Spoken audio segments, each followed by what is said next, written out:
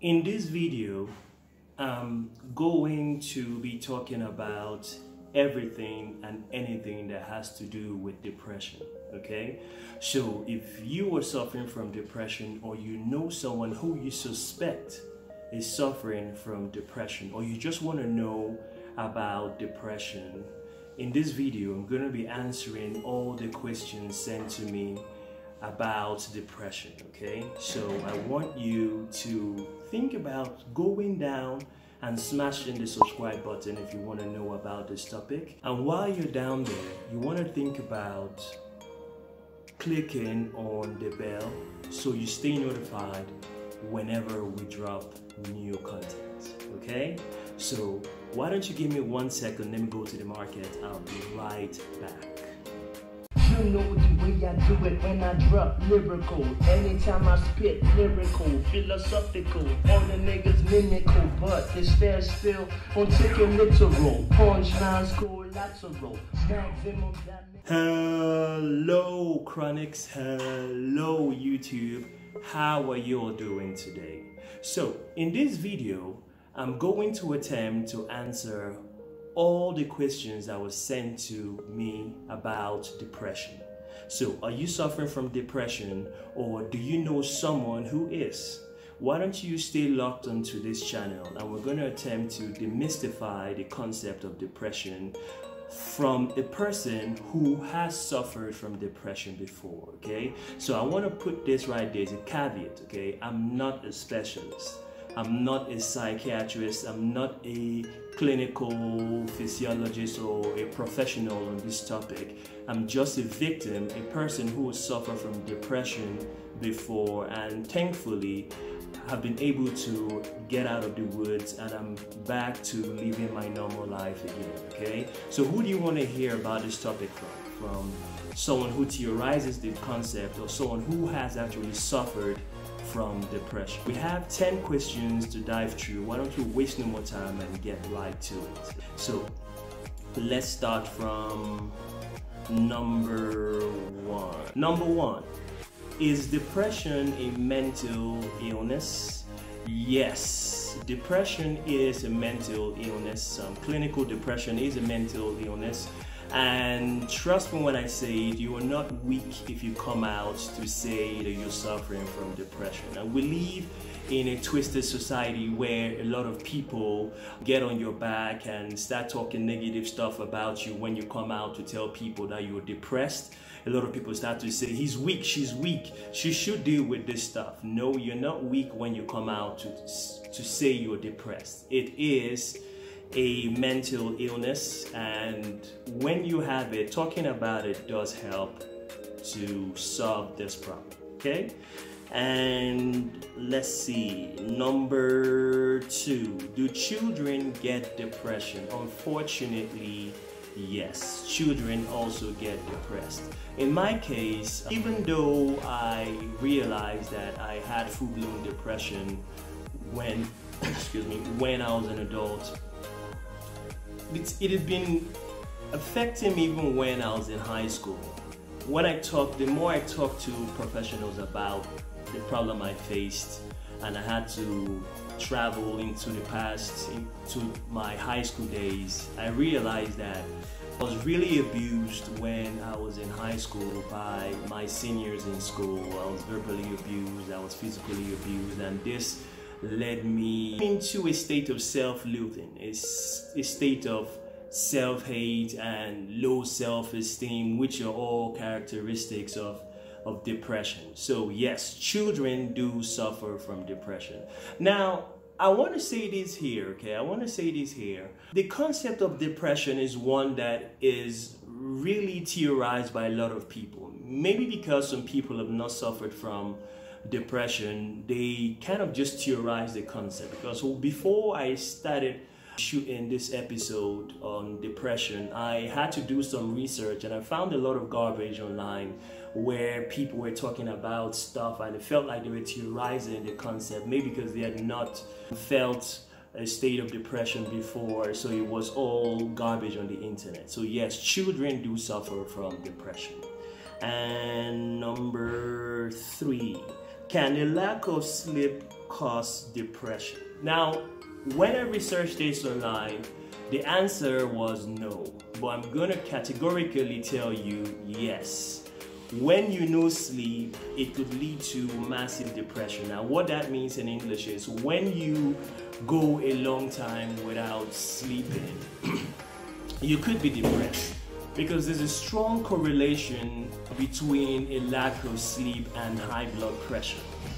And when you have high blood pressure, usually one of the characteristics that comes with high blood pressure is jiddiness. Now, when you're depressed, you're very, very jitty. Now, jitty means jitty means whenever someone maybe slams the door, you jump. Oh my God, who's that? Who's there? And stuff like this. So there's a strong correlation between depression and high blood pressure. Okay, so all I can say is if you are suffering from depression, the first step to solving this problem is usually to speak to someone about it. And it's very hard to do this, guys. It's very, very hard to come out of your shell.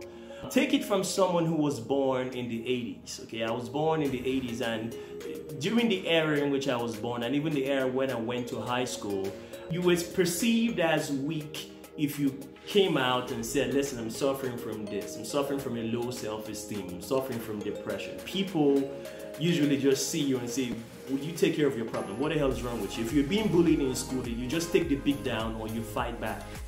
You get? That's the error I come from. So coming out and talking about your problem, in this case depression, is a huge step. If you stick with me to the end of this video, I'm gonna tell you what, because whenever you, you, you find a victim or a person who's depressed, there's usually something, there's a trigger, there's something that causes the depression. If you stick with me to the end, I'm going to tell you what my trigger was and how it affected me so badly and how I was able to snap out of it. Okay, so let's move on to number four, I think it is. Number four is, hmm, are there any alternatives to the traditional treatment for depression that I can find? Are there any alternative to the, tr the traditional treatment for depression that I can find? Yes and no. Okay, I'll tell you why it's yes and no. Now, in my case, I'm only going to speak for myself, okay? I'm not going to speak for people who have suffered depression and uh, somehow maybe sought professional help and whatever. In my case, I was able to get help by speaking to the right people. And you could speak to the wrong person. I remember the first call I made when I found out that I was suicidal, when I found out that I was not God know well. You know that state when you get to you say, boy, oh boy, I know well. I'm not feeling well. I know there's something wrong with me. And um, I'm so sorry, guys. I feel a little bit emotional right now because I'm not that kind of person that talks about this kind of stuff. Okay, I'm not that kind of person who talks about this kind of stuff but I'm usually a very private person and talking about this stuff makes me very emotional, okay? So please bear with my voice might be cracking or breaking a little okay? I'm sorry.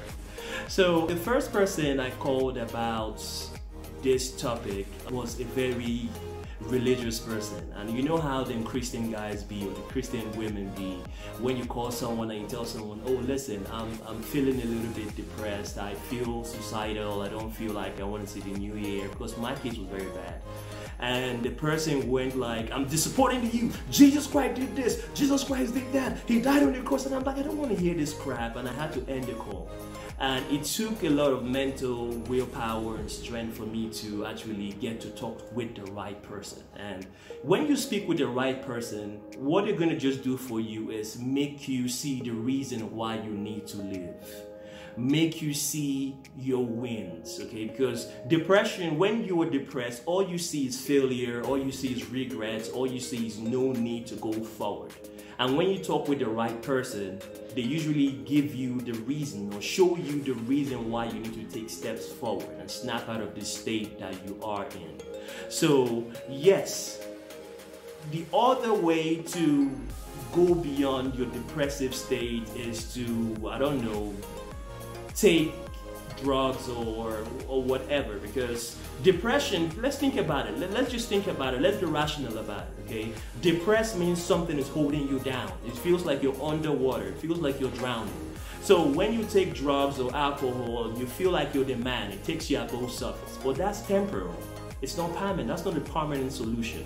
So the best solution is to speak to someone the right person or just go see a professional okay now, number five.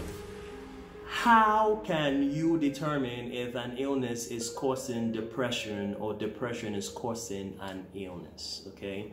Now, this is a very good question because when you are depressed, chances are at the onset of depression, you're not going to know that you're depressed. You're just going to have this inkling that there's something wrong with you.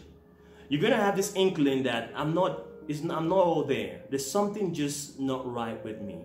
And it's going to start from when you have situations where you're victorious. Maybe you you you pass an exam, maybe you win a contract, maybe that girl that you've been asking out says yes or you travel to your dream destination, but you're not gonna focus on the wins. You always focus on the other side, the downside to it, the flip side. You focus on your losses or your failures.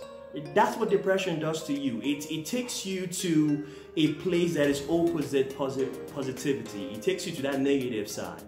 Okay, and oh, you over over time you don't know that oh this is depression.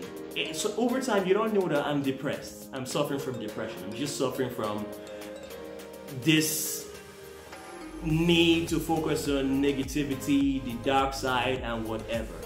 Now, over time, depression could lead to other type of illness. It could lead to lack of confidence. It could lead to low self-esteem. It could lead to all these negative things that you don't want to be carrying around. This negative baggage that you don't want to be carrying around. Every time, when imagine when you saw a person you're looking for face, tell you say, "Man, guy, you wait, man, you fine, sha, you be handsome guy. You're very handsome." And you look at the mirror and you look at yourself and you tell yourself, nah, man, I'm fucking ugly. Who, who, beauty is in the eye of the beholder. So someone is looking at you and telling you, dude, you're handsome. Or girl, you're beautiful. And you look at yourself in the mirror, man, nah, I'm there, I'm, I'm not too be. You're too ugly, I'm too ugly. I'm not, I'm not, I'm not beautiful. So other negative things start to come. And imagine when you add that to the jittery and, and, and, and every other thing that comes with this type of mindset, before you know it, you start to get hypertensive. The blood pressure starts to set in. Every other thing starts to set in. You don't even see the need to live anymore. You start to get suicidal. Okay, now this is that elevated state of depression. Now, number I'm sorry guys. Number six. I've heard lots of warnings about drug interactions with certain depression medicines. What are they? This is a very good question. Now, when you find people who are depressed, now clinically depressed, manic depression, they're all the same thing. Now, manic depression is a type of depression where you see people having mood swings, and usually this is because of maybe they take substances that get them high, and when it wears up, they get back down low. So there's this mood swings and all. Now, most people try to battle depression by either taking a lot of alcohol or by taking a lot of drugs. They just feel that it's gonna just level them out, it's gonna just keep them above water and stuff like this. Over time it's just not just gonna be good for your body. Over time is not uh, now this is not a moral class this is not a moral lesson. I'm not gonna i'm not here to tell you don't do drugs i'm not here to tell you don't drink alcohol. That is your prerogative that's that's for you to decide okay? I'm just here to tell you the side effects of doing this stuff. Over time alcohol is not good for your liver. And take this from a person who drinks and who drinks a lot, okay? And over time, doing lots of drugs is also not good for your body at all. These are all temporal solutions. They're gonna make you feel good in the short term, but in the long term, you're even gonna hate yourself even more for scoring drugs and taking a lot of alcohol.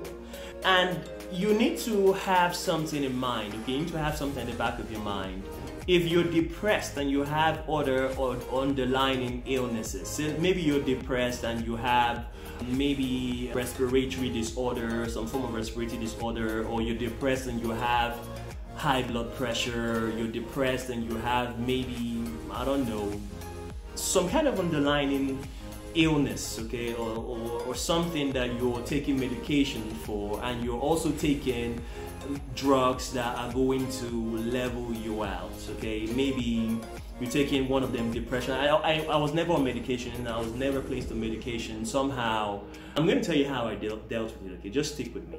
Now, if you are taking drugs for a, a different underlying illness, illness, and you're taking hard drugs to level you out because you're depressed, it's not a good idea guys. These drugs they do not mix okay? So hard drugs say for example you're taking speed or you're taking MCAD, methamphetamine or whatever or you're taking coke or heroin or whatever drug you're taking to level you out. These drugs don't mix with drugs for say high blood pressure drugs for say someone who's suffering from a respiratory disorder or another. So these drugs don't mix, okay? So you shouldn't take hard drugs and take drugs that treat your underlying illness. It doesn't work. The same with alcohol. Drugs and alcohols do drugs and alcohol do not mix. So if you're doing this, you might want to desist from doing this stuff. Take one and not the other. Okay? You decide the one you want to take. Okay? I'm not going to tell you the one to take. Okay? Now, number seven. Is this correct? Am I in the right place? So yes, I am in the right place. Now, number seven, why are women more likely to get depression? That is a very, very good question. Now, women are very hormonal in nature. Okay, women are very hormonal in nature. Um, I should have packed my hair. I don't know why I left my hair like this. I'm so sorry, guys. Okay, but I, I know it does look good. Okay, yeah, I think it looked good. Okay why, why am I getting distracted? I'm sorry. Now, women are very hormonal in nature. Okay, so women have their menstrual, their monthly menstrual flow. Women give birth to children, and women have menopause. And all these stages in a woman's life are caused by one hormone or the other. That's why I say women are hormonal okay? And when you check a woman, you find out that when she's in her menstrual flow or when she is in that period or time of the month when she's having her menstrual flow, there's a certain hormone that kicks in at that time. And particularly if it's a woman who has painful menstruation, that leads to a different type of depression in its own. Now, when a woman is pregnant and the body changes starts to occur, the, the breast gets enlarged, and all the other changes that comes with pregnancy, that's a different type of depression caused by a different type of hormone. And when a woman stops giving birth and she is maybe in her mid 40s, early 40s, mid 40s, early late 40s, early 50s, when I'm not women they be now, they start to they get very moody, mood swings and it's caused by a different hormone and even the depression in that state is totally different from the other ones I mentioned. So compared to men who maybe just go through puberty from teenage to maybe mid-teens, late teens and early 20s, it's different. Men, your voice just change. Your chest gets broad, your shoulders enlarge and stuff like that. Maybe their their privates, their dick gets bigger and stuff. But it's different compared to women. Women go through stages in their life, and each stage is handled by a different hormone, and it comes with a different level of anxiety that could cause a different level of depression. Okay, so this is the reason why. Now, number, number, number, I'm sorry. number eight. Number eight, do most people with depression attempt to commit suicide? Now, I researched this question. Okay, I researched this question. I, I, went out of my own head and went out of my own way to research this question. And the answer I found online was a big lie. Now, big lie was bollocks. Okay, what I found out was no. So the question is, do most people with depression attempt to commit suicide? And the answer I got online was no. And the answer in reality was yes.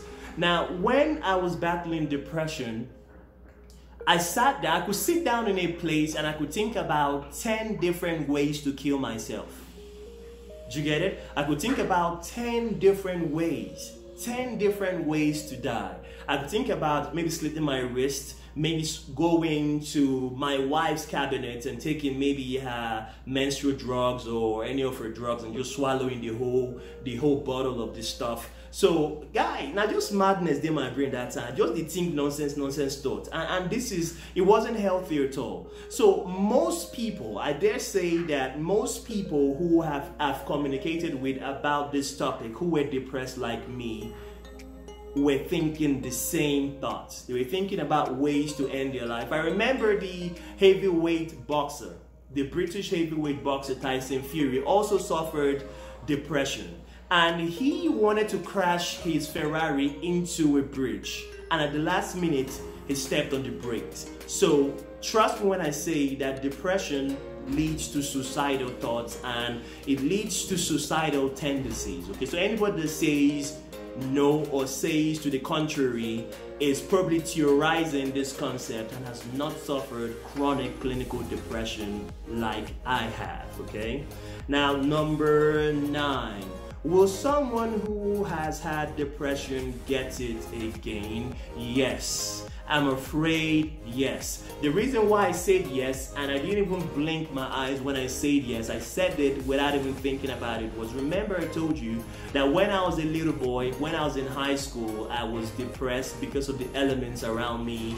I was getting abused both verbally, physically, and otherwise by my seniors in high school, led me to be very, very depressed. And even now that I'm grown with my children, with my wife, I also suffered another setback and I was depressed that almost I almost contemplated suicide, taking my own life. So yes, you can get it again. And what can you do not to get this case of depression coming back is to try to change your environment. And changing your environment is not just changing your environment physically, it's changing your environment mentally. There's a reason why you're depressed. Now, in my case, I was depressed because I was not meeting my short to long term goals. And this is a lie. This is just a lie that you, you, you tell yourself. I'll tell you why this is a lie you tell yourself. Now, I usually set short, medium to long term goals at the start of the year every month and every week and every day and I marry them together to see how they all tally and see how I'm getting on when I, when the year is getting on and getting to the middle of the year and to the end of the year. So I was meeting these goals, but for some strange reason, I felt like I was not working hard enough. Do you get it? And over time, this feeling kept piling over itself and it just developed into full-blown depression. So there's a reason why you are not, there's a reason why you're depressed. There's a reason. There's always a trigger. It could be a girl that you're trying to get or it could be that you're trying to meet girls and they're always treating you like you don't matter or you don't you're not existing or you're not there. And over time you feel that there's something wrong with you. It could be that you are in a circle where your friends always look down on you and whenever they talk to you they talk to you like you don't have brains. They talk to you like you're a dummy and stuff. It could be that your wife is not showing you the respect and love you deserve. It could be that your mom looks at you as a failure. There's always a trigger you have to find the trigger. When you can put your hand on the pulse of the of the issue of the matter, when you can tell yourself that this is the reason, this is the reason why I'm not happy, because always starts with unhappiness. And you tell yourself, don't worry, I'm, I'm gonna get I'm gonna get better. Uh, no worry, now, I'll be a man now. I'll be strong man, I'll be Iron Man, nothing will happen. I'm a strong man, I'm, I'm Iron Man, nothing can go bad. I'm gonna get over this situation. And they keep stacking and building over time. You find out that life is gonna be better without you in it, and that's what you start to think. That at that point, you need to realize that your depression has gone to the to the to the highest level. Okay, so if you can isolate what the trigger is, then just distance yourself from the trigger. You'll be fine. It's not gonna repeat itself. Now, number 10, how long does depression last? This is a very good question. Now, depression could last, in my case, I was depressed for, it had built up, and when I realized I was really depressed, it lasted in my case for two to three months. Okay, I kept it to myself. I knew I was depressed. I kept it to myself for three months. So it started in, I think it was September, no, October, November, December. It was December I decided to speak out, speak to somebody and get help, okay? So it, it could last a couple of months, two years, okay? So most people are depressed, they don't even know they're depressed.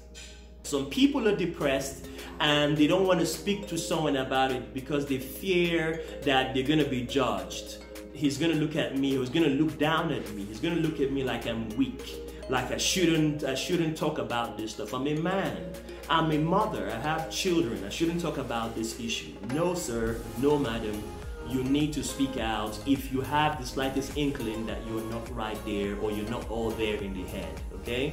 So, guys, I've been able to answer all 10 questions that were sent to me about the topic of depression and I want you to take this topic seriously. Now, before this happened to me, I always look down on this topic. I always ask myself, who they suffer depression? Which how people could just sit down and say they don't want to live again? How people could just sit down and say saying ah say their brain no correct? Which of life be that one? How can someone just say he's depressed? That's just weak.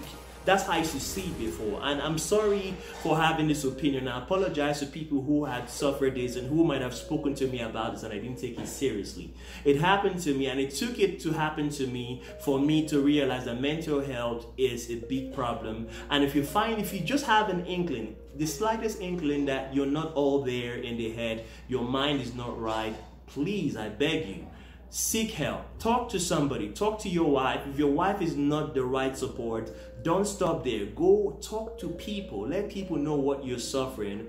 And I trust, trust me, you're to get one person who is to direct you to the right person that is going to assist you, give you that support. If your wife or your spouse, your girlfriend, your brother, your sister doesn't want to listen, Fuse is here, okay? Leave me a message in the comment section. Slide into my Instagram, slide into my DMs, and send me messages. Tell me what you're going through, and I want to be your support. Ever since I got out of the woods and got myself back, I've made it my life work to help people who are suffering from this problem, okay? So please take it seriously. Mental health, I'll say it again, is a serious issue. And if you find out that there's something wrong with your mind, please seek help. Okay? So guys, I want to believe that this video was helpful to you or someone out there. If it was, do your boy a favor, okay? Give us a thumbs up. It show the YouTube algorithm that this sort of content is or what's helpful to you so that we can be informed and make more videos on this sort of content okay? And while you're down there why don't you smash the subscribe button? Help us grow this community and let's build it all together. And if you have friends or family members that are suffering from depression why don't you think about sharing this video with them? You just might be saving someone literally saving someone okay? And until the next one guys don't forget it's still your boy fuse on the fuse chronicles be happy. Happiness is your property. I cannot make you happy. Only you can make yourself happy, okay? Until the next one, stay safe, stay good, and be yourself. Bye bye.